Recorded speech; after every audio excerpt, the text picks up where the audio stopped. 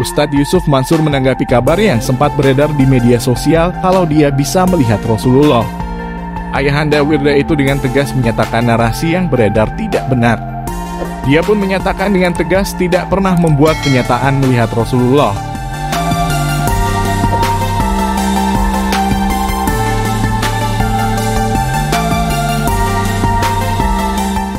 Logikanya di mana ada Ustadz Yusuf Mansur ngaku lihat Rasul di siang bolong.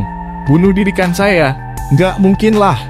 Narasi diputar balikan kata Yusuf Mansur kepada jawapos.com melalui sebuah video Sabtu 26 atau 2.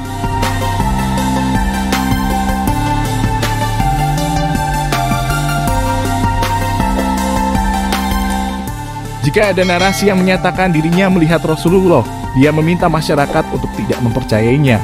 Yusuf Mansur juga meminta masyarakat untuk tidak percayai siapa pun yang mengaku-ngaku karena itu sudah pasti tidak mungkin. Itu ucapan orang-orang yang tidak bertanggung jawab, ucap pimpinan pondok pesantren Darul Quran itu.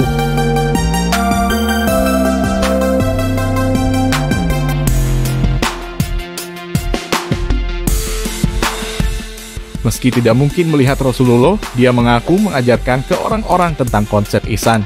Apa itu? Seakan-akan melihat Rasul, seakan-akan Rasul melihat kita.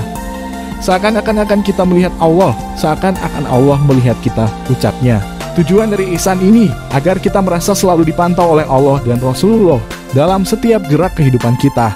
Sehingga baik pada waktu ramai ataupun sepi kita tidak berani melakukan hal-hal yang dilarang oleh Allah dan Rasulnya. Seperti biasanya jangan lupa like, komen, bagikan, dan subscribe.